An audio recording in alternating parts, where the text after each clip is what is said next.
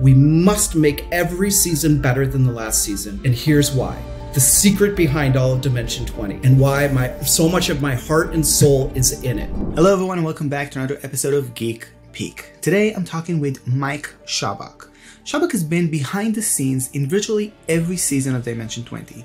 We answered a lot of questions in this interview. There are some that are about the Ravening War, uh, so stay tuned for that. Schaubach takes us behind the curtain and shares what it is to direct a season of Dimension 20, what's a day in production looks like. I enjoyed this interview a lot. It also connects a lot of dots that I didn't know about uh, Dimension 20's production. This is an interesting one. So without further ado, enjoy the interview. Mike Schaubach, thank you for joining me. Hey, thanks for having me. I'm so glad to be here. I am so excited to talk to you. Uh, you've been behind the scenes uh, uh, in Dimension 20 since practically the beginning, and you've been behind many college humor things also, even before Dropout was formed. Yeah. Uh, so there are so many things I want to talk to you about. Uh, we also have fan questions. Yes. Can't wait. Uh, before we get to that, though, there are so many people who unfortunately don't even know who you are or just yep, know you by name. Uh, and uh, I would love for you to introduce us to, your, uh, to, to, introduce yourself to us. Uh, so uh, people that uh, love Dimension 20 and might not be familiar with you get to know you a little bit. hi, Dimension 20 fans. My name is Michael Schaubach. I'm the director of Dimension 20. Uh, you don't normally see me. If you watch the BTS, maybe every now and then you'll see me and I'll get interviewed, but mostly I am behind the camera. And I am the one that stands outside the dome and I protect it from all the chaos out there so that Brennan and the cast can have a wonderful time inside the dome and make an awesome TV show for you all to enjoy. So that's, that's, that's basically who I am. That's awesome. You have done such a good job with the the minis uh, with the hand modeling of the minis. Uh, um, okay, so take us back a little bit to before Dropout, even maybe before College Humor. What inspires you to be a director? What inspired you to be uh, to, to start on this path that you are on today? It's a really great question.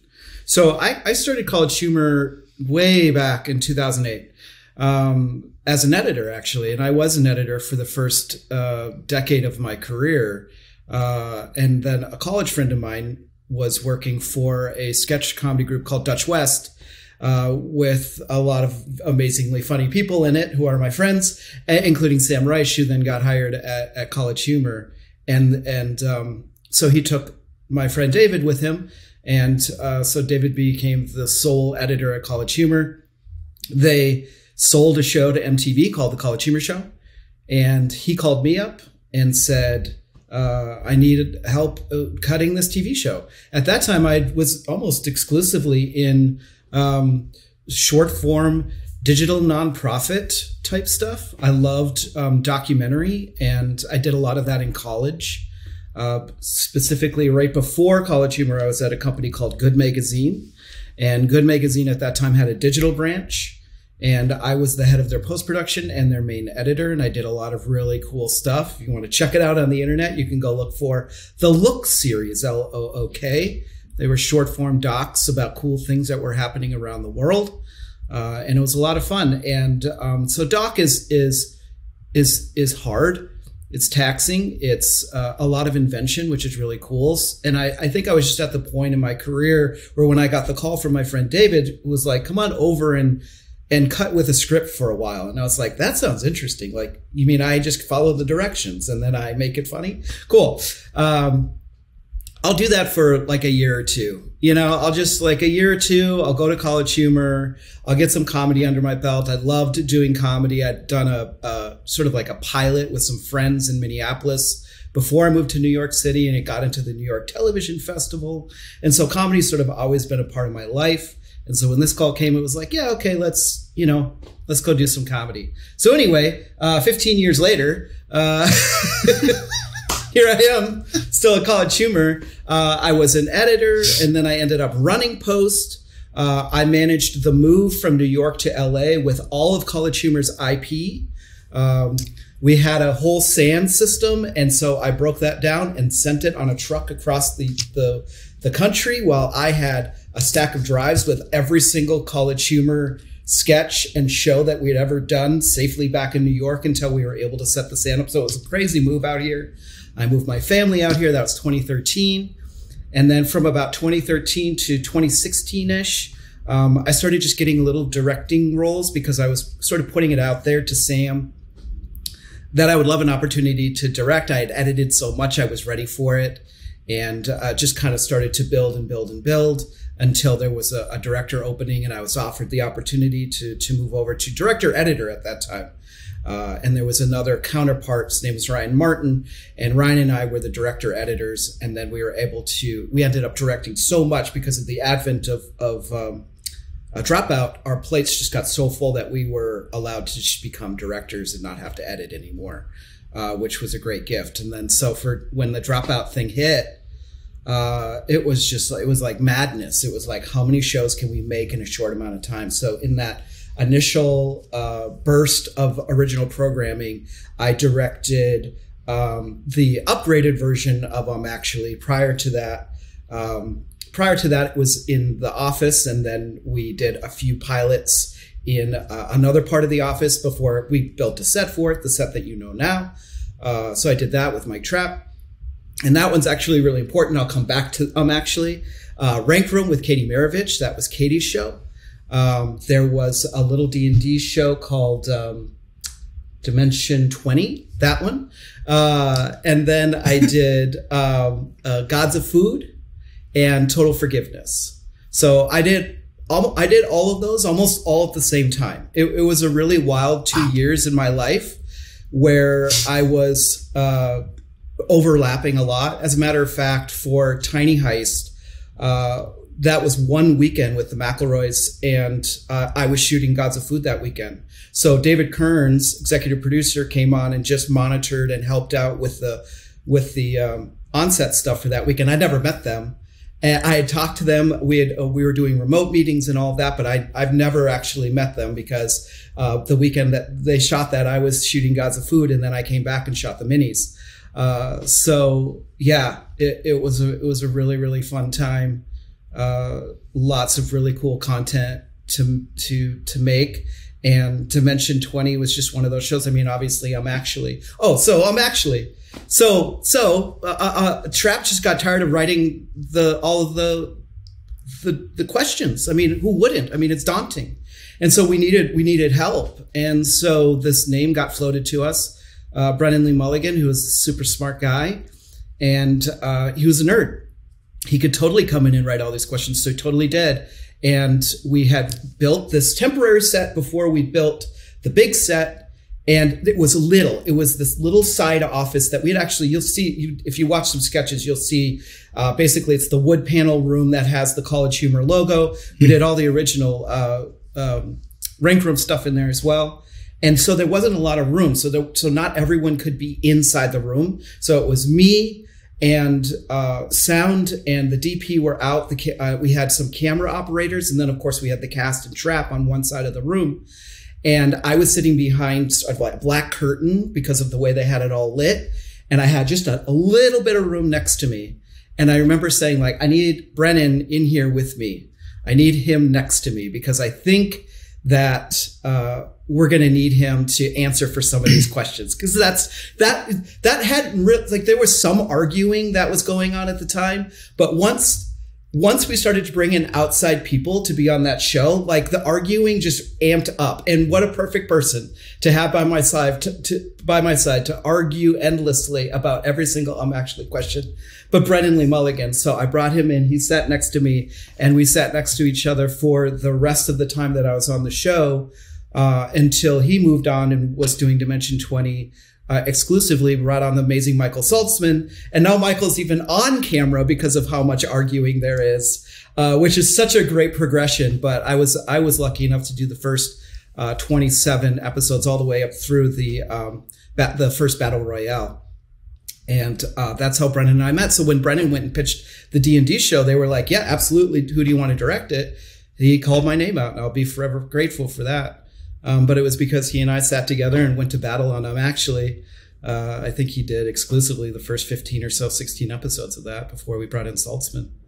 So that's where that's how it all plays. It's it, it, it the, the my career has been sort of this like stumbling through uh, uh, long periods of really really hard work that have then ultimately paid off, which is really great. Like nothing nothing ever came fast for me, and that's just how it is. Uh, I think mainly I mentor a lot of people, and that's one of the big lessons I say, which is like great things like take time to build. And Dimension 20 is like the perfect example of that because we, the way we wanted to, to, to develop the show and make the show right was that we wanted to fill in a niche that didn't exist yet. When Brennan called me up to direct the show, like nothing was created yet. He just had this idea. And so what he had me do he sent me all these links of all the other TTRPG shows that were out there. He said, watch all of these and that, and then you'll understand where Dimension 20 fits in the perfect whole of what people are not creating. Because the idea, and, and still to this day, is we never wanted to come in and, and take from somebody else's bowl. We saw this community as a community of people that just wanted more content. They just wanted more to watch. So we always we always positioned ourselves in the TTRPG uh, genre as we're joining the party and we're here to help. And that's how it's always been since the very beginning. Matt Mercer was on our very first side quest. I mean, from from the get go, uh, and the whole TTRPG community uh, that I've come to know and love and become friends with, a, a vast majority of them, we all love each other. We're all rooting for each other, and we're all helping each other. When we bring fans in, they see their content and likewise it all gets everybody just gets what they want which is more people to watch their content and more people get to watch the content that they're out there to watch. So so uh, that's how that's how we sort of attacked the show. We wanted to do something different. Um, the minis were a big part of that and that is really what what interested me. I love doing unscripted. I do, I'm a director who does both scripted and unscripted, which is pretty rare in this industry. You kind of have to choose a path, and that's the path you get known for. Because of my experience at College Humor, I was allowed to, to do both, which is great. I love unscripted. I, I think it's great. You can make a massive amount of content in a short amount of time, and you can really focus on making sure that content is is high tier, right? You can really focus on the lighting. The cameras don't move, so you can make the set perfect. And so I, I liken I liken unscripted and especially Dimension 20 as a director to being sort of the party host and also the the vanquisher of bad vibes. Right? Like it's all about the vibes on Dimension 20. And if they're feeling if the if the cast is feeling anything from the set, drama or whatever, it leaks into to the dome and it will it would change the show. So basically what I what I like to what I like to build Dimension 20 as to new people who come on because we're constantly bringing on new people to fill different roles. It's just how the business works. People get better and go do bigger stuff. And we get people in who want to be a part of the show. And what I say is that we create what we're doing here at Dimension 20 is we're doing um, what I call the television show, making the television show the ride. So you come in like you're coming into Disney or Universal Studios. I'm going to give you the best making the television show experience possible. Every single person, that's not just talent. Every single person that comes in and is a part of our show and a part of our family, you get treated with mutual respect. We work really, really hard and we love what we do. And everybody goes home feeling good about what they did. And so that was sort of my contribution when when Brennan said I want to fill this this hole in the TTRPG world with Dimension 20, which is um, you know uh, a set limit to the number of episodes. So in in in the case that we started with 17, I think it ended up becoming 18 um, because of the the big meaty ending and. Um, and the and the episodes be no longer than you know three hours. Obviously, we've gone over a few times, but that's sort of where he wanted to fit in. And then the, the minis and really focusing on the art of the minis, and then getting in and shooting the minis. I feel like the minis part of it and the and the art behind the filming of the minis is a great collaboration. Obviously, I direct that and I've evolved that. But the other contribution that I feel like I have, which is unseen, and and for good measure I, I do love the idea that i am behind the scenes and people don't really know that i'm there or that the show seems easy to make. Like that means i'm doing my job really well. Um, but but my other contribution is this beautiful set culture where everybody agrees to come on and be the best version of themselves and treat each other well and be kind and be patient and have a good time and work really really hard uh, so all of that, all of those ingredients mixing together and stirring, it did really well. And Fantasy High did take off, but it has been slowly building. And I feel like that is great ingredients to any artistic endeavor is that if you can do that and repeat it and get better as you do it, you will build an audience and you can create something like Dimension 20, but it takes a great deal of time. Uh, one of my great philosophies of Dimension 20 is that we must, we must make every season better than the last season because, and here's why the secret behind all of Dimension 20 and why my so much of my heart and soul is in it is that there are people out in the world that are lost. They are alone in the world. They do not belong or they do not feel they belong anywhere where they currently are physically and they tune into Dimension 20 and they go, that's my people. That's my home. That's where I belong. And you do belong here. So the better we make this show, the more people are going to see it and the more people we can find that are lost and say, you're not lost. You're found and you're found right here with us. And this is where you belong. And look on camera. It's people just like you. You're being heard. You're getting representation. You belong here. So that's why every season we have to do something different. We have to go bigger. We have to just be better because we, we find more people. Every season we put this show out, we find more, more lovely people that just need a place to be. And so that's why we do it. Wow. I love this so much. There's so many things you said that were like, um, like I resonate with them so much. Like, first of all, the thing that uh, uh, it takes time. This is so true. Like, a lot of people are like thinking uh, that uh, uh, the rise of someone is like uh, an overnight success, but that overnight success is like is like followed by years of of like a, a lot of lots of preparation, lots of training, lots of work uh, and, and, also like the bit about uh, Dimension Twenty being home. Uh, this is this is I, I, love this so much. It's my home. It's my home. it's my home, right? It's everybody that. I, I also have this saying where it's the more people that call Dimension Twenty their show, the better the show gets. Like there's just so many people out there that that do so many different roles and they go Dimension 20, that's my show. I love that. It is their show. If they help make it, it's their show. If you watch it and enjoy it, it's your show. The show belongs to everybody and the more people it belongs to, the better it gets. Okay. So, now that we talked a bit about like how the show is like risen and and your role in it, would you uh, take us along on how uh, a workday uh, for you looks like on the set of Dimension 20? Okay, so shoot day. Because there's yeah. like there's months and months of prep. Like we we we aired the last episode of uh, Never After all, all two days short of the one year anniversary of the first meeting I ever attended for Never After. So that project took a year to do. Yeah. Um, so a shoot day, uh, we normally shoot uh, nine to nine. Uh, it's 12s. We don't go over and um, we have a lot of work to do so there's just a lot that has to get done right? Like we're in covid time so a big part of the, the beginning of the day is making sure that everyone gets tested and everyone's safe. My biggest thing my number one biggest thing when on set days is safety's first and no one no one no one is is not subject to that. Everyone deserves the same mutual safety and safety is so much more than physical safety right? There's emotional safety too. So like I make that clear from the get go. So one of the ways we do uh, we help with uh, uh, physical safety is we do COVID tests, and we're going to continue to do those.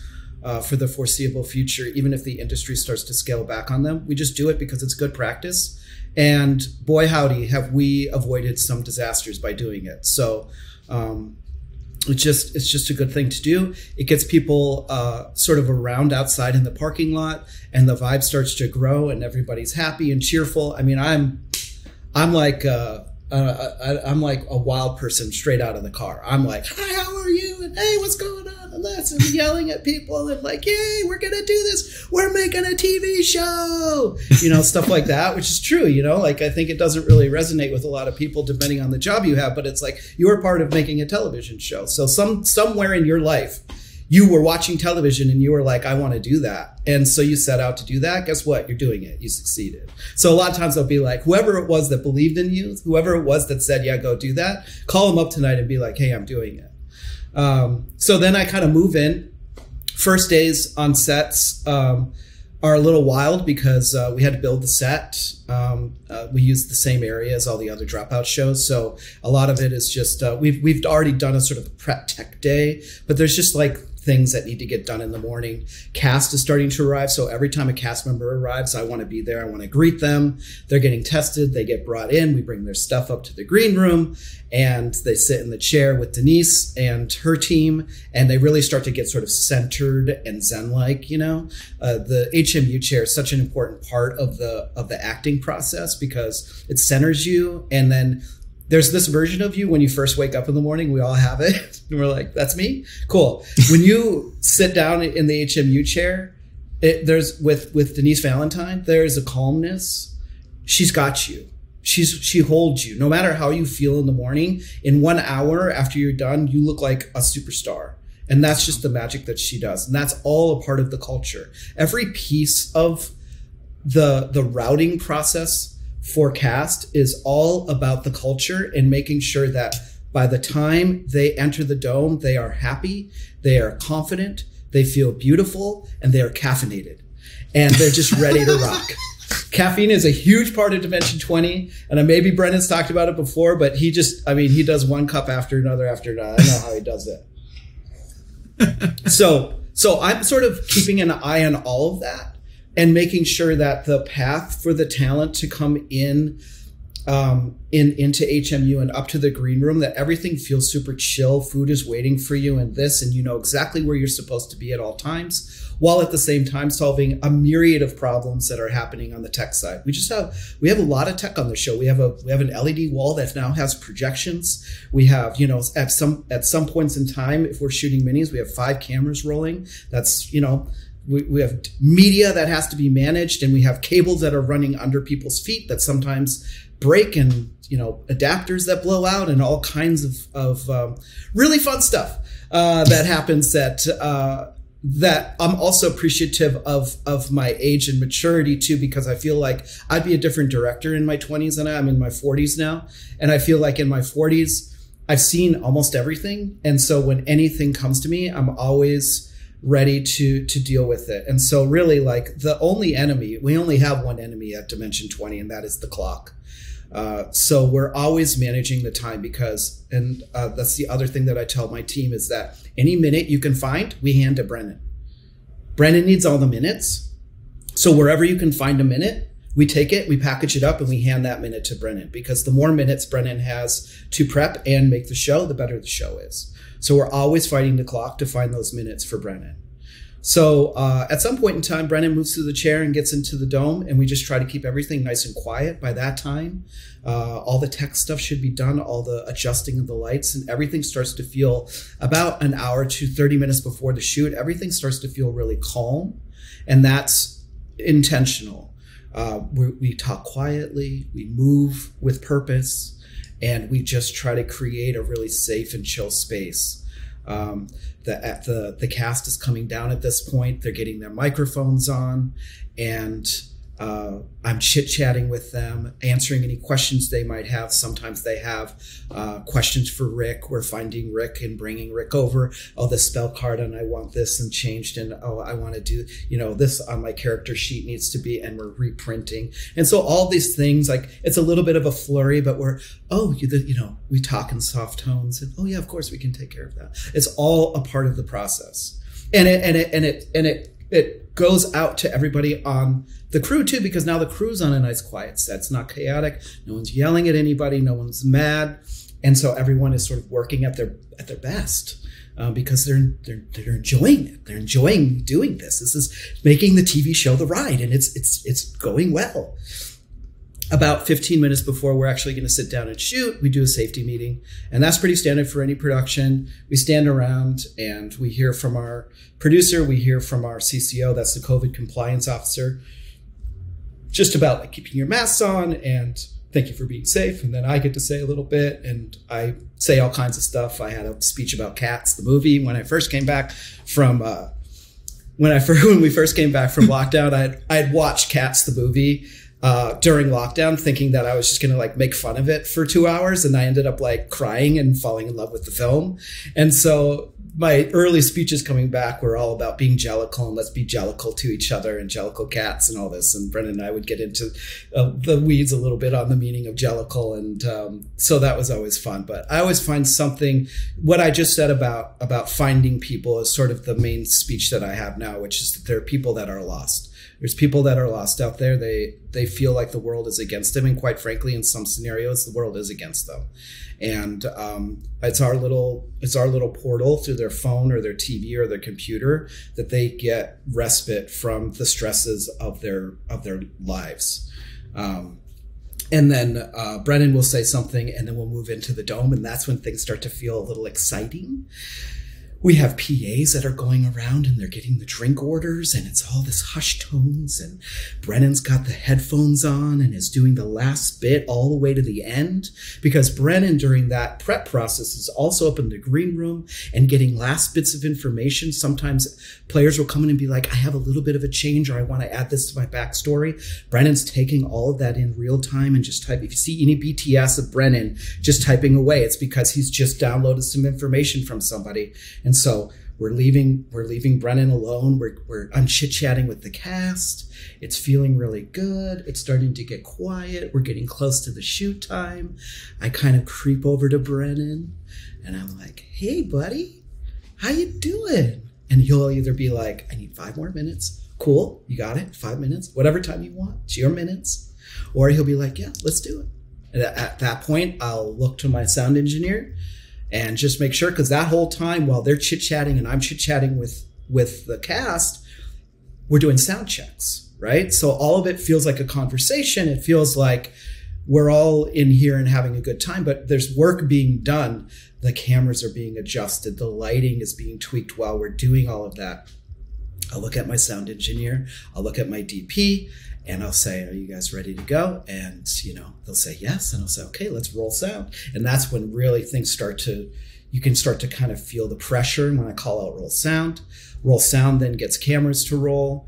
Uh, we clap, uh, you know, with the slate and I kind of look around depending on who's at the table. If there's any new people at the table, I just say like how happy I am you're here. Welcome to the Dimension 20 family. Uh, if it's the core cast, I I uh, I always like to just I always like to just reminisce a little bit and say, I, 2017. I mean, we've been doing this for so many years. It's such a special time when you're calling action for the very first time on the first episode of a new season. It's just the beginning of a new journey. I get very nostalgic. it's such a special, it's just such a special thing to be a part of the show and a part of this business and do it the way that I want it done, which is good and healthy and, and positive and then uh, I don't call action for this show, actually. I look at Brennan and I say, uh, Brennan, the floor is yours. And I walk back and I sit at it and he.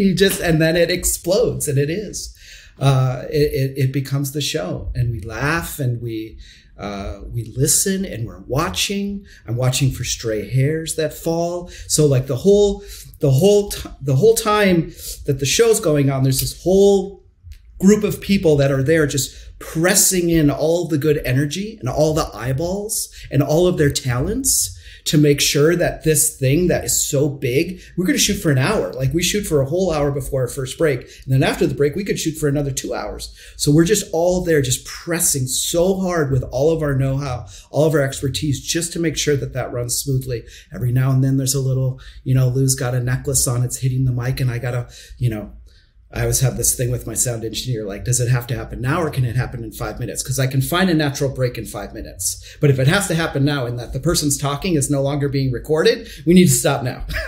Yeah. so all these little things that are happening that we don't, you know, obviously with because it's an edited show, we take out, but it's all very, you know, it's all very intense and uh, there's a lot of moving parts because in this is a unique show. TTRPGs are a unique show for shooting. Normally, in a, a, single cam feature film, you can shoot for a couple minutes, maybe, and you get it. Like this is it. Like we don't redo. This is improv. So sound engineers and managing seven microphones is a huge job.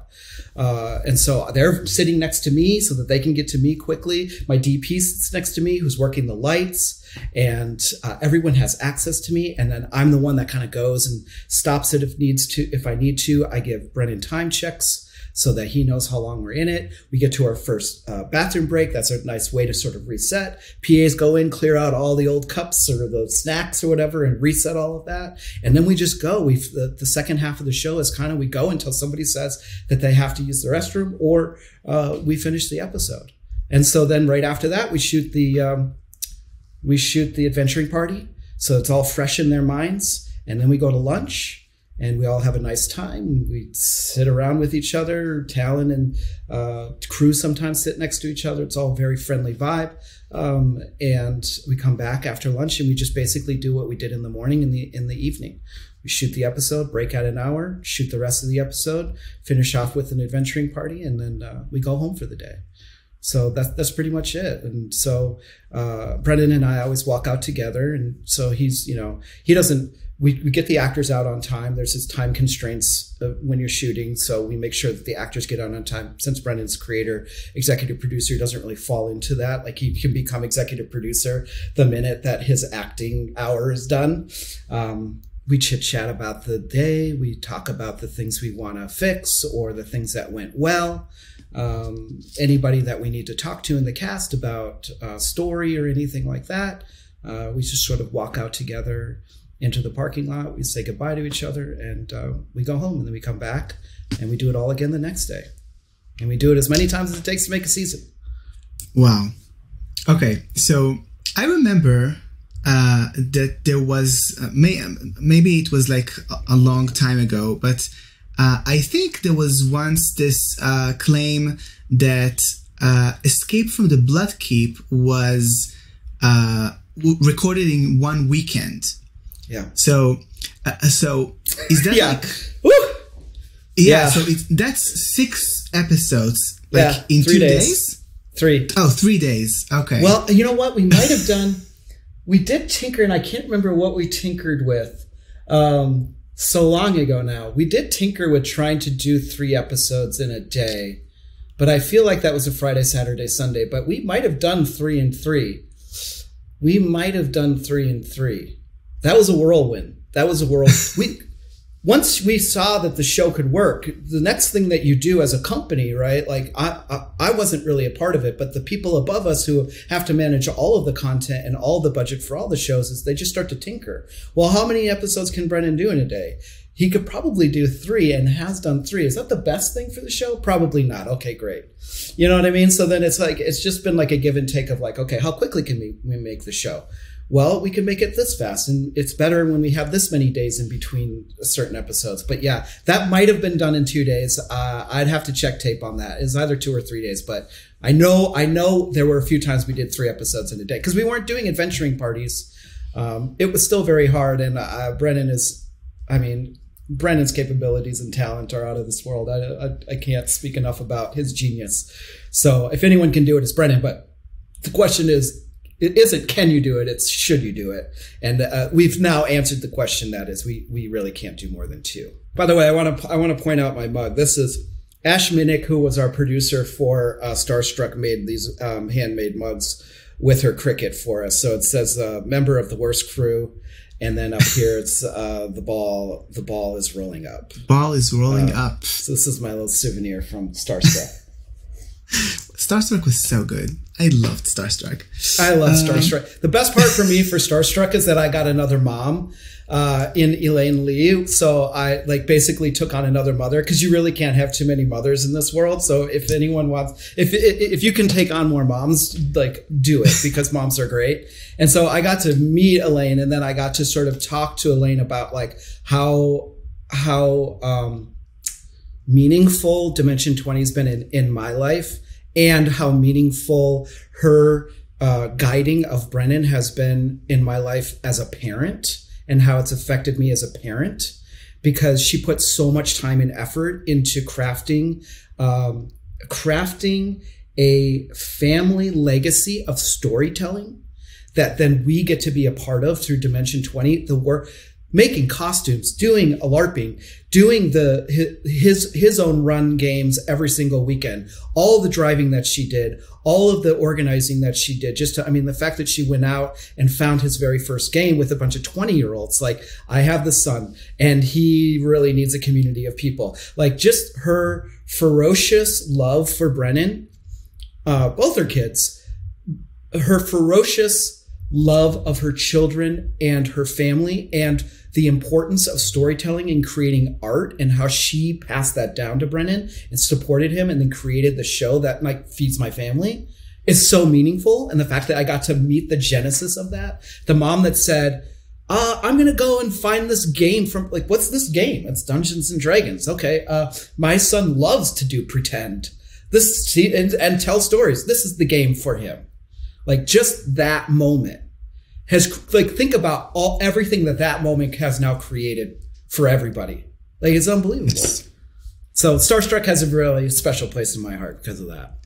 Shout out to Elaine Lee. We love you. yeah, we love you. We really do. Okay. Uh, before we move to fan questions, we are going to do a roll for spoilers. Oh God! Uh, uh, die of. Uh, okay, let's see what we roll of the Here, die. Can we, let, or let's do this. You roll and then depending on the number you get, I still need a little time to figure out what it is that I'm going to spoil.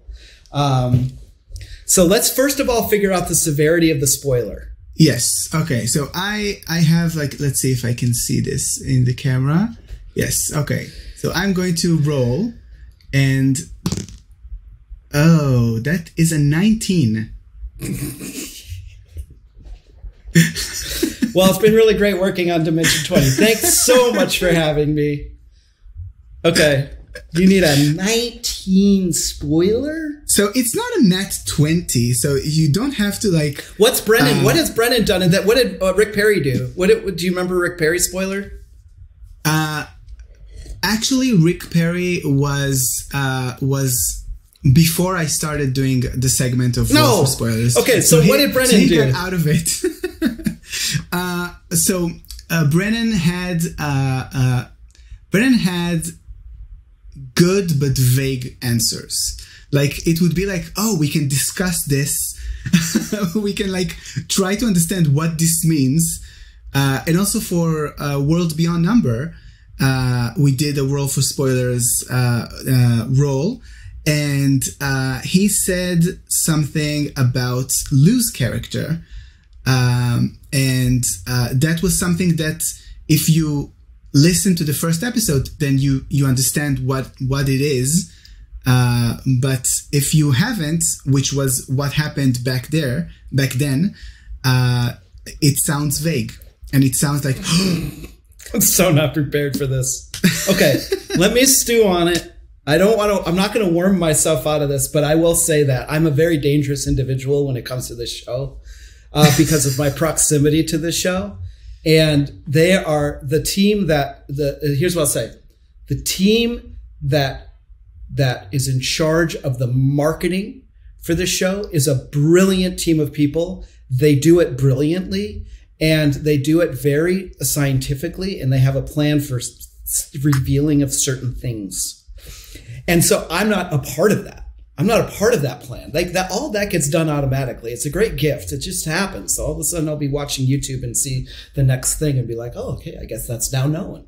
Um, so my biggest fear is to sort of messing up their thing because obviously the spoilers would be like, um, since Ravening War's been been announced, uh, it, it might be fun to have a, a fun spoiler for Ravening War, but like, I mean, I don't know what they have planned. So let me stew on it, or let me stew Sure. on it, Sure. uh, because I- I- um, I will I don't want to mess I- anybody else's job up.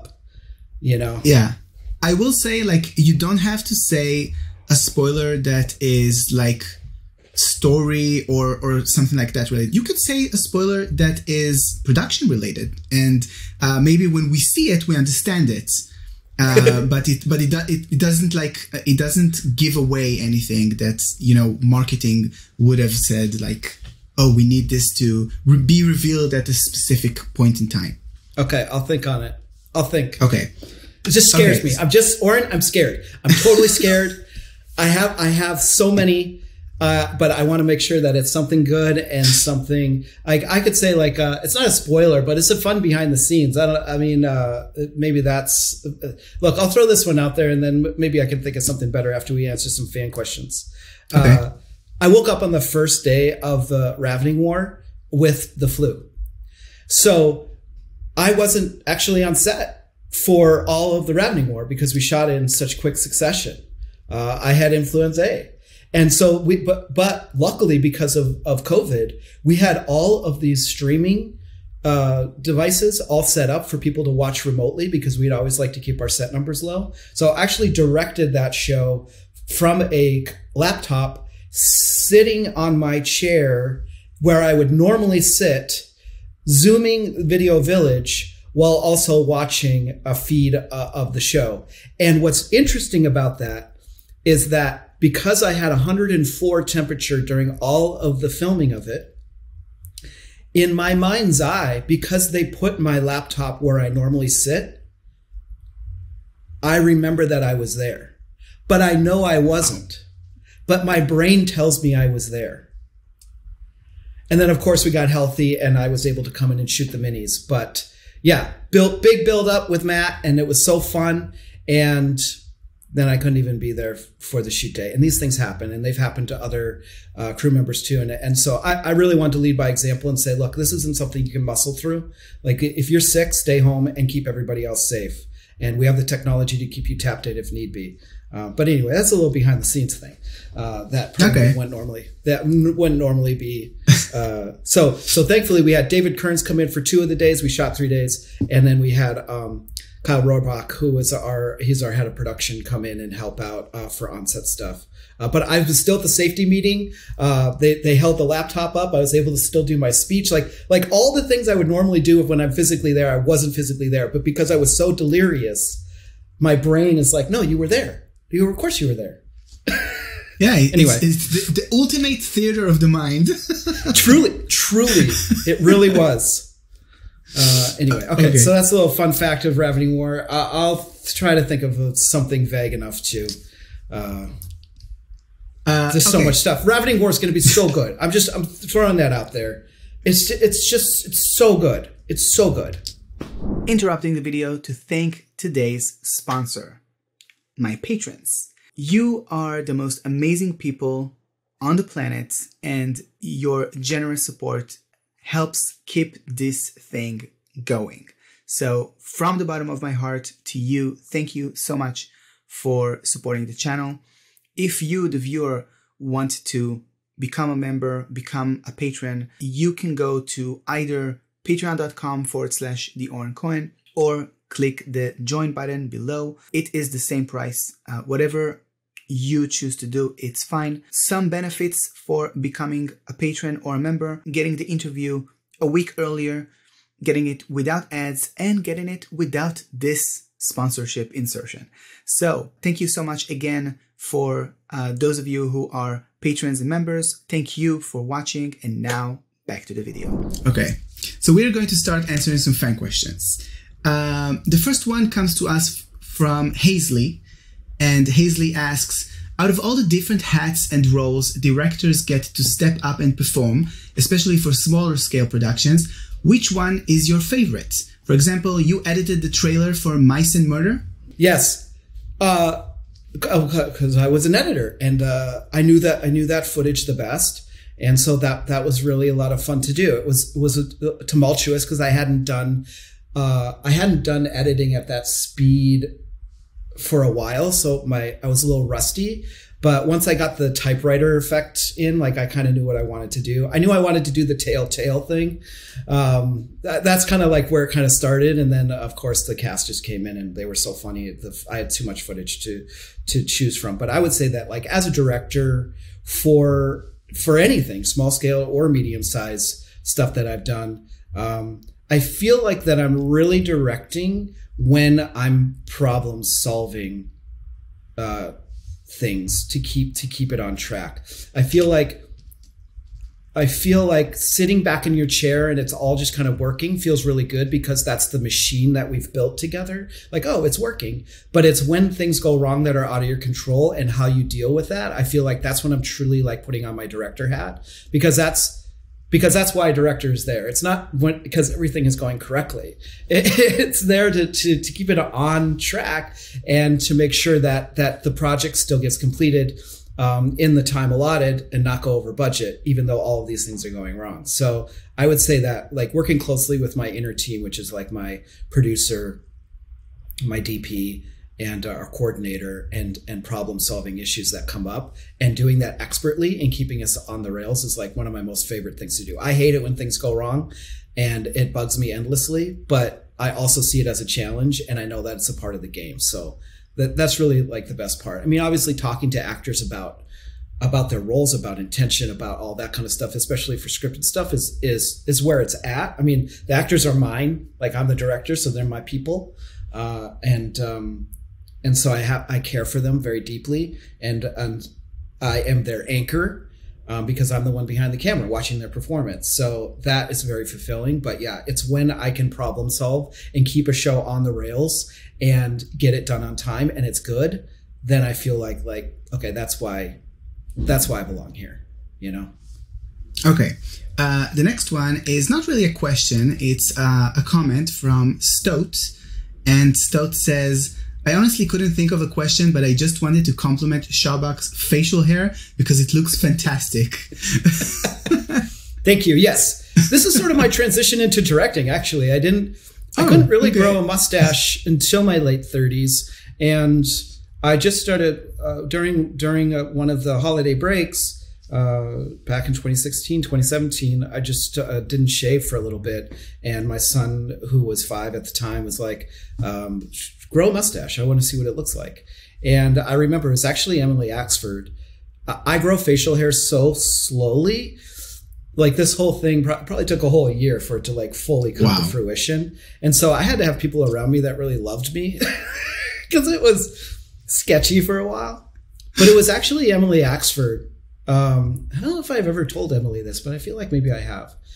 Um, we were we were doing a show together and um, or maybe Emily was doing something in a, a neighboring edit suite. I can't remember the context, but anyway, there were two teams that were at this that that were at the office really late at night. It was like midnight or something. We all decided that we wanted to order food together, and uh, it was much smaller at that point in time. It was like it hadn't quite filled in here, and it came to a point.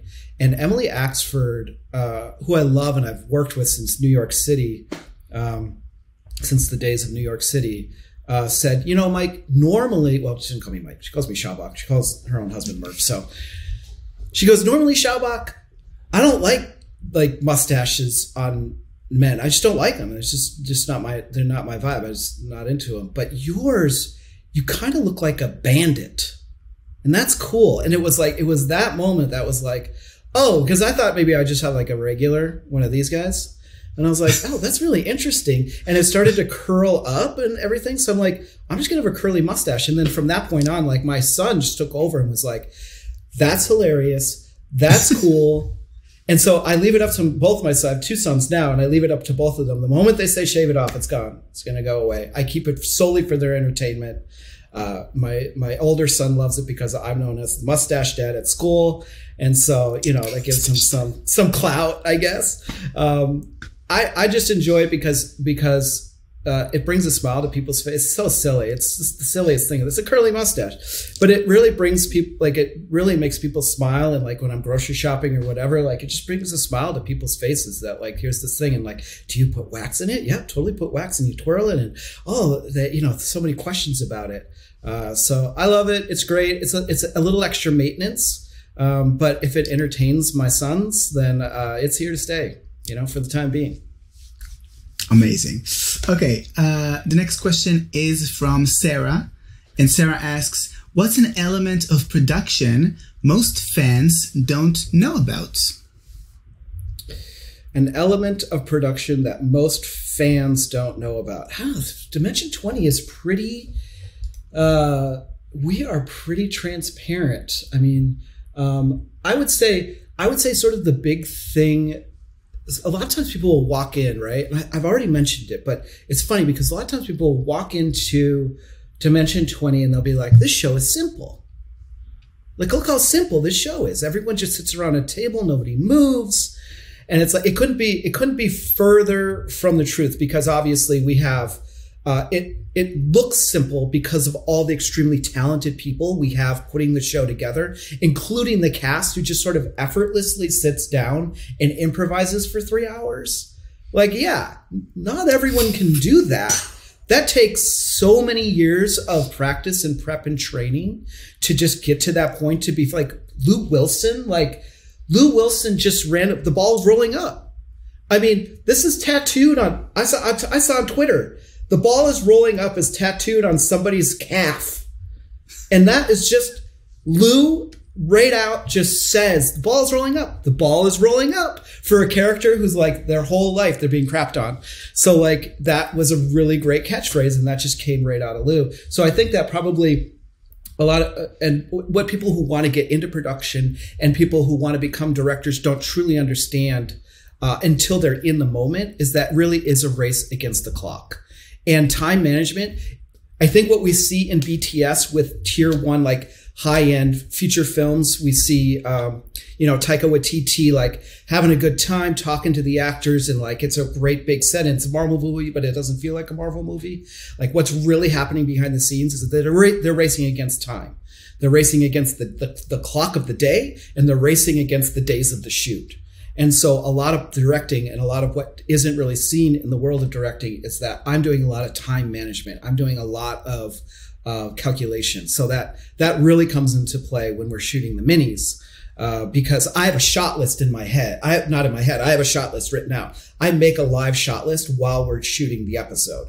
So I'm making my shot list as we're going and I'm just putting everything down. And then I go over that shot list and I go, this is a big moment. This is a big moment. And then I make a list of about 80 shots that I want to get um, in a in a shoot day for minis. 80 shots. And 80 shots. And that ultimately will become 65 shots. So that's where sort of the art of directing comes in because I just have to start killing darlings almost immediately because certain shots take a long time to set up and we have this hazer and we have this light and we want to make it look nice. And so then I'm, I'm sort of actively starting to, looking down my shot list and going, okay, now I'm going to take that one off. I'm going to take that one off. And it distills down into from my original 80. Well, uh, episode, the, the list that I make after an episode is 120 shots about for a Brennan battle.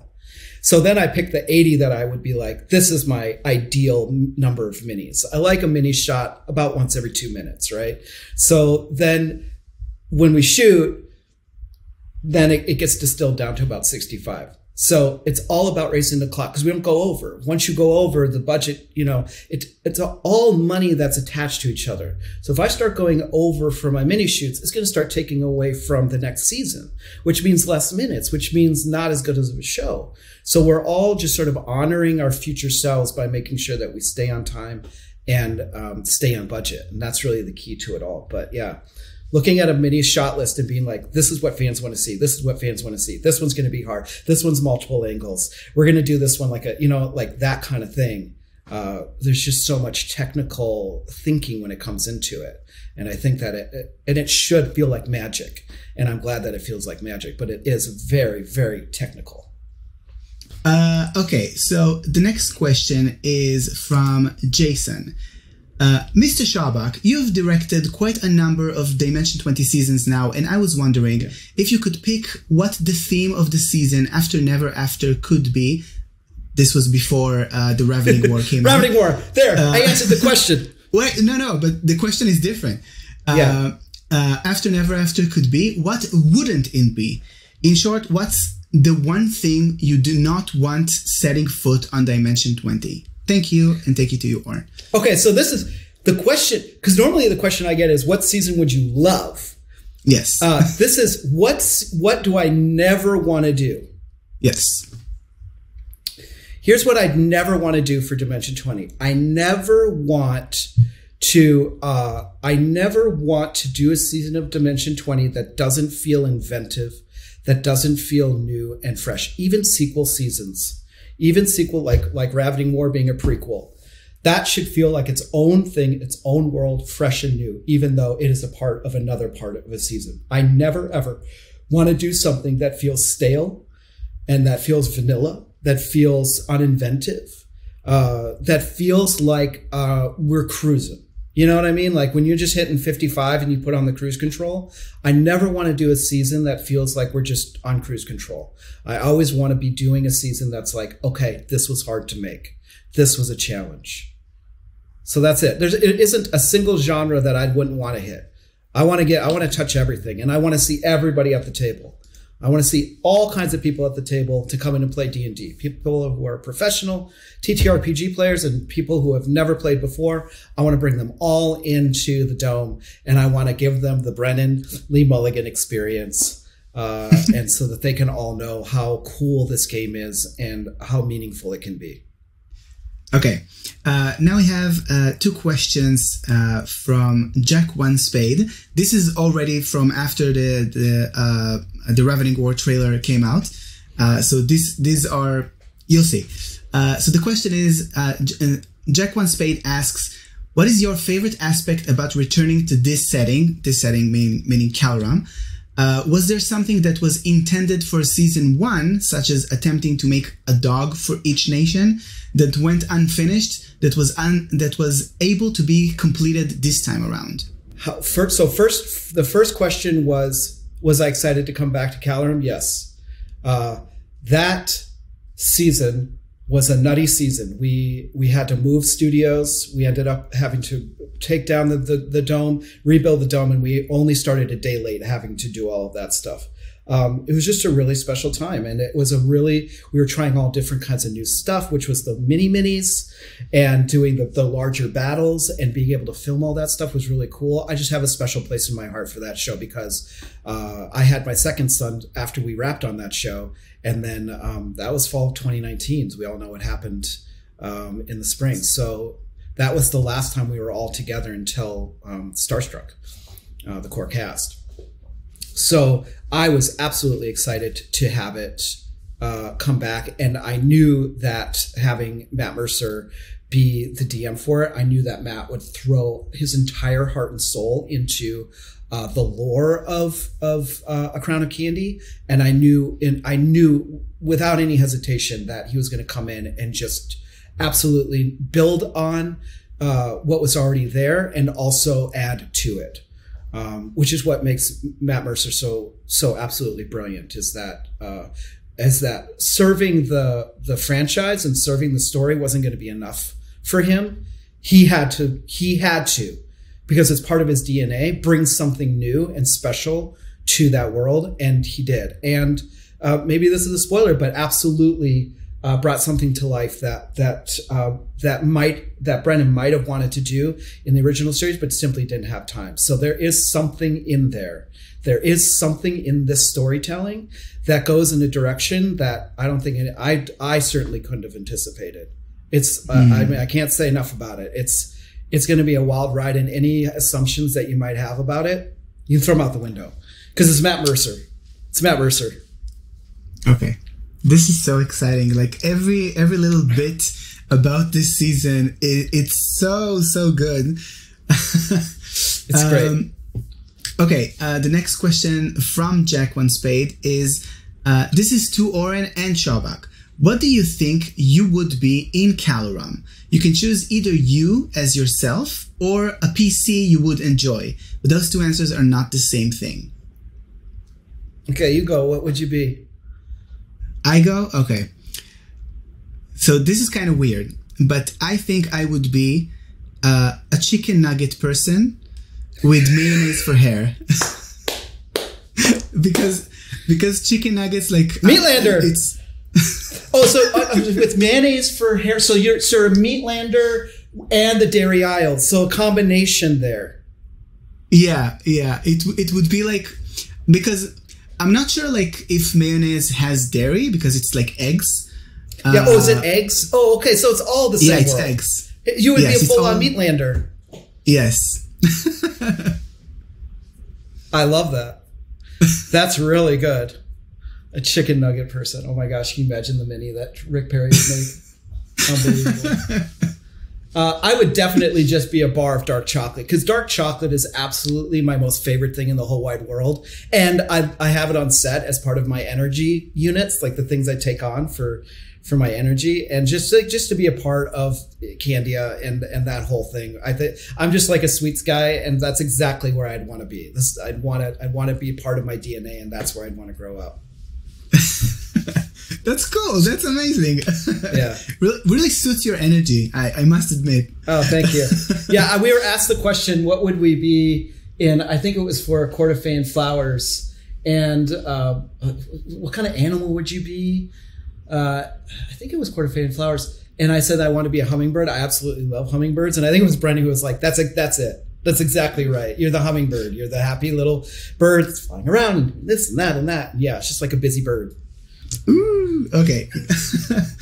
um, uh, let's see. The next question is uh, from Skully, and the question is: What are some of the biggest hurdles y'all y'all encounter in producing a season of D20, and how do you navigate those hurdles? For instance, from an outsider's perspective, it seems like time constraints are often cited as particularly heinous hurdles to the cast's ability to finish threads of the stories they weave uh, which makes the high quality of the landings all the more impressive. Is Yeah. that similarly true for the production end?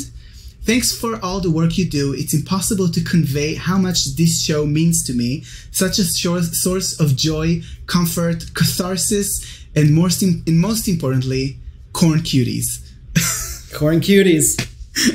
Corn cuties. Yeah. I mean, I've talked about it enough, but it's we are the clock is our collective enemy and it is for everybody. When we have a set number of episodes we're doing in a season and we're making basically an entire television series in the amount of time that we're doing it, um, yeah, there's a lot of hopes and dreams that go into uh, character story arcs and what they want to convey because all of the all of the actors that have come into the dome have always carried a piece of themselves and that and that, that's what i find so amazing about the core cast too is that every season the core cast finds something personal about themselves that they want to bring to the table and they want to share with the world which is tremendously courageous uh, but also very very hard to do and so um, the fact that they do land them uh, in the time allotted really is a testament to their ability to be um, uh, their testament to their ability to improvise and to put together a great story with Brennan. Um, it, it's it's time. Time is the great enemy. But at the end of the day, we have a budget. We have a certain amount of money that we're allowed to spend for the show, and we do our very very best to put the our best foot forward and create the best possible product we can create. I think sometimes the constraints can be helpful too. They can help tie things up that need to be tied up, and um, you know, ultimately, everybody just needs to go home at the end of the day. That's critically important. You need to go home. Yeah. Okay, uh, the next question is from Andrew B. The question is What are some of your favorite shots or close ups of the minis? Oh well, gosh. Um, you know, um, when Fig meets her dad, that scene, like, there was so much, like, shooting Fantasy High. We were inventing from nothing. I mean, it, it was such a special. It was such a special time. We were doing it. We would come in early. So the way the schedule was for Fantasy High, we had to shoot almost exclusively in the evenings because there were a few people that had day jobs, and of course, like College Humor still needed to make sketches, so a lot of the actors that were at the table were also shooting sketches during the day. So they were doing a full. We were all doing a full day of work, and then shooting Fantasy High in the evening. So we were we were actually shooting the battles. Now we shoot them several weeks later, um, but we were shooting the battles in the morning, and then we were shooting the show at night, and that's kind of how we did our schedule. But but we cut a hole in the table for that for the glowing red when she looks down and sees the glowing red. And then the shot reverse shot where she's standing here. And and we just got that big you know first the first the reveal of her on the shoulder and then that um in unsleeping city with the cat and the moon uh, there's so much collaboration that goes into the mini shoot. Like the mini shoot's not going to be fun if I come in and go, um, "This is my shot list. These are going to be my shots." I'm going to meticulously direct every single shot, and you're going to do it exactly how I say. Like that's just that's just no fun, right? Like I have a team, it's a small team that does the mini shoots of super creative, amazing, talented people. I have a, a, art director and an art director's assistant. I have my DP, first AC. Uh, I have my producer there. Um, why wouldn't I open the conversation up to ideas that maybe I could never even think of? And so I wanted this uh, this low angle shot of the cat, and my DP Santiago Bati at that time.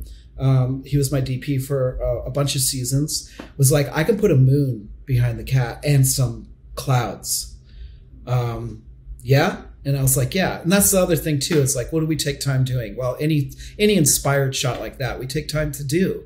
Uh, and so, yeah, just it's just it's just so much fun. It's so it's so collaborative and so just like it's like pure creativity that like anytime somebody's like, I have an idea, it's like, yeah, let's hear it, you know, because I'll be like, um, so for um, Never After, for example, right? Like um, uh, that we had the scene of Toy, uh, the the battle on Toy Island, and we had Pinocchio's uh, connection to the dogfish, sort of actualized, right? Like how that felt, his connection to the dogfish and their forever connection and um, you know it was it was sort of narrated as like a string there's this you know it was like there's the string that i have from my heart to the dogfish and so I went to um, my art director, Katie McGeorge, who's absolutely brilliant and amazing. And I said, hey, do, do you have like a string? You know, like we're, th- this is while we're shooting, you know, like what, what, they they look at my shot list before and sort of have some props ready to go. But a lot of the props are being made in that moment. And, um, she's like, hold on, I got something better. And took plastic bags and just started melting white and blue plastic bags and the way they just started to melt up and create these little water droplets and this wave like thing over this string piece, I was just like, and she did it in like three minutes. And it was like, I was just going to do like a, like a string. and here she created what looks like the string bursting through the waves of the ocean connected to Pinocchio. It was like, how, how could you not collaborate? Like, I don't know. So all the shots that we do, I love them all. Those stand out in my mind because those were the moments where we were like, in the beginning when we were shooting um, Fantasy High, we didn't really know what we're doing. I was like, I was recording all the moves. Like our shot lists were crazy. We were moving really, really fast because it was like, what do people want to see? Now I kind of know what people want to see, and what people want to see are like the big moves and the big moves shot and done well from different angles, so that we can really get in there, see the minis, and tell the story that has motion in stillness, but still has the motion effect to it. Uh, so, yeah, th- th- those were the early moments where we were like, no, no, no, let's let's pause here and let's really give this moment the shots that it deserves. Um, those are always going to be my favorite, and that's what we're now focused on when we shoot minis: the big yeah. action moments one thing I loved uh, in seeing in Never After, for example, was uh, that in in like earlier seasons there was like this narration and uh, and the b-roll was like over the narration itself. But now there's like this pause and like uh, for example uh, revealing the first fight in ever after uh, there was a pause in Brennan's narration and then was like this room with like the music and all that. Like so, this was like so like like putting us into it, into like the scene, and and I love that it's like okay, now that there's a mood. It's not just like B roll for narration. It's like yeah. okay, so now it's like something special, something amazing. Cool. Um, yeah, we. I mean, this season of Never After in the minis, like we only have a certain amount of time, and I try to get as much many shots as I can. The editing team that comes in, and they, I mean, our editors are amazing. And that first that first battle was done by uh, our amazing editor Tyler, and uh, just just the, the, extra work that they put into the blasts and the this and all the fun visual effects that they're able to do right there in the time that they have, because everybody only has a certain amount of time uh, they just took the minis to the next level. And now, like, sorry, like I, I asked for it now. Like uh, uh, we record sound while we're shooting minis, so I'll have an open dialogue with the editors and be like, okay, so what we have time for is to do this cool camera move. Can you guys add the spell that explodes in the thing? Thank you so much. Okay, bye. Amazing. okay, uh, the next question is from literally 100 people. That's the name. Uh, and okay. they ask People behind the scenes usually don't enjoy the notoriety of people whose faces are visible. What's the best way to learn about and appreciate the work of the crew that might otherwise go unnoticed? I love this question so much. The BTS is a is a really good view into the show. Uh, so watch all the BTS stuff. Uh, some some people tweet. Um, you know, some people don't want to be on camera. Some people like where they are in production, and so they they they don't want all the attention.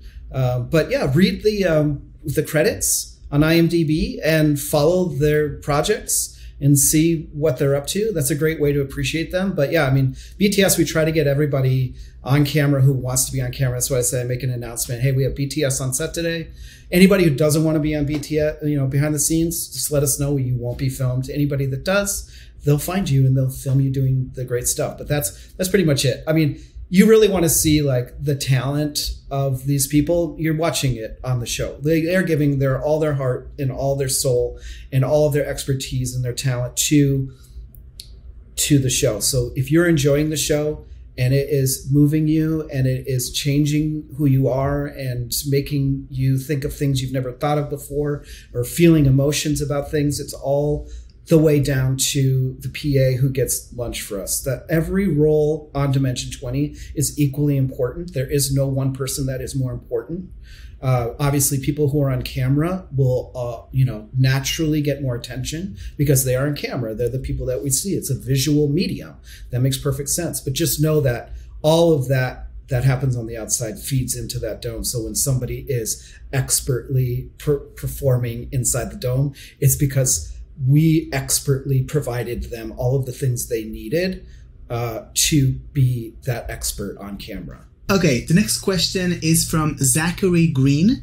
And Zachary asks Will we ever get a Bob Ross Joy of Painting series? But it's Rick Perry and the creative team teaching us to craft beautiful D&D oh set pieces and create stomach acid resistant orange hat minis. I love it. Look, Rick soothes me, so I want to watch that show.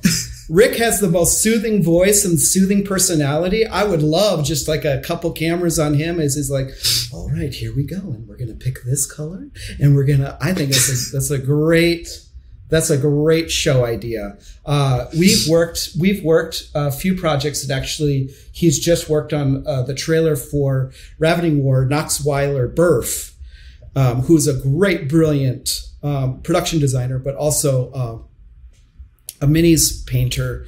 Uh, and um, I believe Knox has had a show or has a show to watch too. So I highly recommend if you want to watch somebody making some uh, high end minis, it's uh, seek out Knox Weiler Burf. Uh, but yes, the uh, Joy of Painting Minis by Rick Perry is a show that must exist at some point in time. I demand it. Uh, so I'm going to take that back to the creative team, and we're going to say Rick would totally be down too. Oh, you want to put a couple of cameras on me? Well, I go, oh yeah, sure. If you want to do that, go right ahead. Uh, I could totally see it. Yes, please. I want that. Amazing. The next question is from Jason Hostler. And uh, Jason asks Do the minis and maxis get used for internal games played by the staff? I wish. Uh, no, uh, they don't. Especially after the first auction, the the minis are are uh, carefully wrapped up and put away in storage, away from all of our our grubby little hands. The moment uh, we're done shooting the minis, uh, it's a and look, mini shoots is not not kind to minis. I'll say that. Uh, there's a lot of moving parts when it comes to the big orchestration of some of the shots, and cameras fall on those little guys, and they get dropped and. Uh, we're shooting. Uh, we're shooting Never After. Uh, we dropped one of the NPCs. Uh, it was probably. I think it was one of the princesses, and um, uh, she just exploded. Like she exploded on the ground, and her what what she was. Uh, I think she was holding a book. At, and we, I just, we had all the lights on, and the entire crew. We were just on our hands and knees, and we were trying to find this tiny little book because we had more to shoot, and for continuity, we needed that book to to continue shooting. So yes, uh, it would be fun to do. Uh, it would be fun to have time to do a crew game of D and D, but we make so much of the show that nobody really has any time to even play it. But if we could, I would absolutely want to play with those minis. And no, we're not allowed to uh, because they need to go and find new homes with great and wonderful uh, fans of the show who help contribute uh, to the financial future of the show by bidding on those minis. And uh, we're so excited that they find new homes because otherwise it would just be in storage, and that's not where they belong. Okay, good shout out that uh, there is an auction happening right now, I think, on the Yep. Dropout store. Uh, I'll have a link to that uh, below. Um, the next question is from Z3DT, uh, and they ask, Hey Schaubach, thank you for all the hard work you do for the series. Dimension 20 got me through COVID lockdowns, and people often forget that you guys behind the scenes are just as much to thank as the people on camera. My question Did you have any experience on producing something like an actual play show before D20? If not, what aspects of the things you've worked on before transferred unexpectedly well to producing D20? I mean, I'd done some unscripted, but nothing like a TTRPG. So I'd played some D and D in high school, and it's something that's always sort of been around me. But I, I wasn't, you know, I wasn't a, a player when I got brought on to to do the show. Um, so I think that I think that no matter what project I I go on to, I always bring, uh, you know, the same types of tools, and a lot of that is this like. Um, it's it's language. It's it's the way you to speak to people. It is the expectations that you have for the quality of the content all of those things sort of apply across the board. And so i just brought all of that expertise uh, to this uh, dimension 20 and just sort of applied what what has worked for me in the past which is creating sets that are fun to work on that are mutually respectful where everybody is the same is is treated the same. Uh, people on camera aren't worth more than people behind the camera. Like all of these things i know me saying it somebody could be watching this and be like yeah of course of course that's true. All humans are the same and all that. It's not it's not true it's not true in this business. There are people that are treated better and differently on sets um, than other people and that's not my set. So uh, i think that the um, overall what i was doing without even really doing it without knowing in the beginning now i intentionally do it which is the vibe right? It's all about the vibe. And so the good vibes that I was able to create when I first started directing sketches into the longer form projects for Dropout was like, okay, this is right. This feels good. And people seem to be enjoying themselves and also working hard. And they're coming back and they're not a lot of th- a lot of times like a um, if uh, uh, somebody on the production team isn't really like v- digging the pr- project that they're on, they'll replace themselves. So you kind of get an indication as to like how the project is going or how good it is by how many people are replacing themselves. And so I was noticing like the better the vibe was, the more cool the set was to work on, the less people would replace themselves. So it's less people that we have to train in, it's less people that we have to onboard, and that's really what makes Dimension 20 and any repeat series a success is that the more people you can get back from season to season, the less you have to explain. And then the better they can become at their job because they're standing on their own shoulders and doing something better. And I think that that the testament there is our current DP, Kevin um, Stiller, who's absolutely amazing and just like never stops with the tech is like never afraid to like bring in a new piece of tech to the point now where we have the um you know we have a little stream deck for brennan now and brennan can control all the lighting. All that is was voluntary by our dp it was like we need this new technology i'm going to learn this new technology. So uh, I, I think that, that me bringing what i had learned in previous projects to this set to create a world that's like openly creative and like everyone has a voice and everyone's treated equally was like the big thing that really makes a TTRPG work because it's a very hard job again to go into that dome and improvise for three hours. These are actors and actors are sponges of the world. And so if there's any drama or anything's happening on set, it's going to affect them. They're going to hear it. We're all in the same room together. You can't have an argument or a fight or somebody can't be mean to somebody without somebody else hearing it. Right. So, like, it's going to affect them. It's going to change the way they perform on camera. So, it's critically important that everybody comes in and treats each other respectfully and that everybody feels like they have a voice in a place and that they belong there. That's my biggest message to people. Right. That's how I kick off almost all of my all of my safety meetings is just in case you're wondering you all belong here. You are all meant to be here to make this show. Whatever it is you did in your life that led you to this moment, that's what got you here. The people that you met, the project that you worked on, everything built up to this one moment. And this is where you belong to make this awesome show. Okay. That's very inspirational. I love it. Uh, okay there's now we have a fan question that I lowered expectation from because I know you uh, you can't uh, really answer it uh, okay. candidly, uh, but I'll ask it anyway. Uh, the question is from Jack One Spade, and the question is: I think this is the question that everyone wants to know. Can we get a look at that juicy lore doc? Pretty please. oh wow. Um, look, it's not up yeah. to me. It's juicy. Yeah. It, it's good. You know, I here's here's what I'll say. Molly Maloney is our lore keeper. Molly Maloney is this amazing uh, she's an amazing script supervisor and she works on a lot of really big shows that I'm not allowed to even tell you what she works on. But if you could imagine some very popular television shows, Molly Maloney works on those shows. Molly comes to our show because she loves D&D, she loves Dimension 20, and she loves to be a part of that process.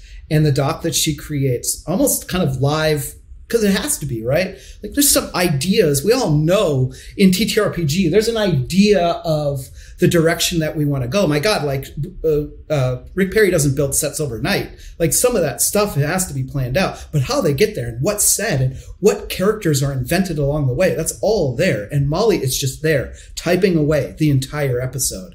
Uh, it's good. It's a good doc. It's thorough. It is a thorough doc um, and if I could, I would share it with the world so you could all see the amount of work that gets put in this and also see like what was invented. I think that's really the thing, right? What was invented in the moment and what was planned. And I'll say that a lot more was invented in the moment than what was planned. 100%. 100%. amazing. It, it, it really is. It's a testament to Brennan. It's Brennan's, it's his, it's his improvisational background and his genius mind who's like, I can take anything. I can take it, you give it to me, I'm going to feed it back to you, and we're going to make this entertaining. Okay, so we have one final fan question. Uh, before we move to the final fan question, uh, do you uh, do you have uh, a different uh, um, like Roll for Spoilers answer that you want to put in? Uh, or, I think I, honestly that's a good one. I, will say I'll say Ravening War. Ravening War went in a direction that Brennan Lee Mulligan didn't even see himself. Okay. And That's I'll good. say this too, another good one for you uh, as you're watching this season. There is a moment now. The love between uh, Matthew Mercer and Brennan Lee Mulligan is a big true love. They truly, truly love each other. They are very, very good friends. There is a moment in Ravening War where Matt Mercer falls even more deeply in love with Brennan Lee Mulligan. And it is a beautiful moment and uh, so when you see it, uh, let me know through the Twitters or the Instagrams. Hey, Schaubach, I saw the moment, uh, and you're absolutely right. Uh, he falls even deep, more deeply in love with Brennan than he had been before. There's a moment there in that show that it happens, and it's so magical and beautiful.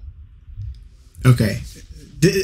but of course Mercer came in. Of course Mercer came in into Brennan's world and created something that Brennan couldn't even, you know what I mean? Like predict. That was the game that Matt Mercer was playing. How can I sit in the seat, have Brennan be a player, and still surprise Brennan? Of course, that was his mission, and he was fully successful. Amazing! Wow, I I I can't wait. Okay, uh, uh, the final fan question that we have is from Snack Captain Haisley, and the question is: Big fan, great work. While all the guests, DMs, while all the guest DMs bring their own wonderfully unique spin and spin and energy, Aabria is known for pushing certain limits of the dome. In the same vein, was there anything production-wise with Matt's debut that really affected or inspired your creative approach to D20 and other endeavors? Yeah, that's a good question. Yeah, I mean Matt Matt came in, I think Matt Matt Matt was just so and this is what okay, so it's very nerve-wracking, right? To, to have Matthew Mercer come over and any guest DM, we want to make sure that they have, they have the best experience, obviously. And we're so happy to have guest DMs, and um, uh, I love working with them, and it's so amazing. Uh, Aabria came in and, and did the biggest thing any guest DM's ever done, which is um, during the one shot, the Holiday Misfits, um, where we had the uh, snowflakes and we had the beast in silhouette walking behind the walls before that, we actually had um, covering on the back of the walls because it helped the LEDs that were back there project bigger onto the um, dome walls. But because she invented this idea of having this projection, we pulled the backs off the walls. And that is ultimately what gave birth to projections as we know now. So when Matt came in and, um, you know, a lot of that it was just more perfecting for us. So so for matt it was finding the right illustrator for projections and all that kind of stuff. And then you know the controlling of it all like we we sort of it was like it was like a fine-tuned machine that matt could come into and sit down and feel maybe some of the stuff that he has for critical role that were also there that were familiar because that's the other thing too is we just want to make sure that he can focus on the game so I mean, the, the, the pride that I have about Ravening War was that we had Matt Mercer come in, have a wonderful experience, create something new and fresh for us within a world that Brennan had uh, uh, sort of built. He took it to the next level. And the machine was so fine tuned and the team was so good at what they did was that their director, who was homesick, with influenza watching remotely, the show still was able to be created expertly and everybody was able to go on and, and do their jobs and create a, a product that was amazing. Even with that obstacle, um, it just makes me prideful. And, and um, yeah, like I said, I think in regards to Mercer and Ravening War, uh, you're just to love it. And uh, I don't know what else to say about it. You're to just enjoy it. Okay. Uh, these were all the fan questions. Great. Uh, thank you so much uh, for all of the answers and all of your uh, uh amazing insights and time. Uh, I have one final question for you. Uh, yeah. and before I ask it, I do want you to tell people where they can find you or where they can where where do you want to point them to after watching this interview uh, be it dropout or something uh, of your own. Uh, and uh, what is one thing you're excited about the next season of Dimension 20? Okay. Answer to the first question obviously, get a dropout subscription. It's what, six bucks a month? I don't even know what it is now, but super cheap. You get all this amazing content. Uh, you can sort of annual is better. and get the annual. Yes, I always find the annual in any of these subscriptions is better uh, watch Dimension 20, but also watch all the other shows that, that are there to offer and watch the all the older content too. You know, uh, uh, uh, Total Forgiveness and Gods of Food were just amazing projects to work on, and Gods of Food is so beautiful, and we just like we just took our time with with making that a beautiful show. And uh, Total Forgiveness is is makes me squirm to this day just thinking about the things that we captured for that. Um, and also some really beautiful moments. I mean, Allie's Allie's talk at the at the at the bookstore. I, I can't watch that scene without crying, and I don't know how many times I've seen that scene. So it's just a just a pure beautiful moment mixed with some just complete total havoc. Um, but the thing that I'm most excited about uh, is obviously the continuation of Dimension 20. Stay tuned. We have some amazing stuff coming up. We have some uh, after Ravening War, we have some amazing stuff. So, so just know that we are working tirelessly to keep bringing the uh, magic for that show, and we have some really, really cool stuff coming down the pike.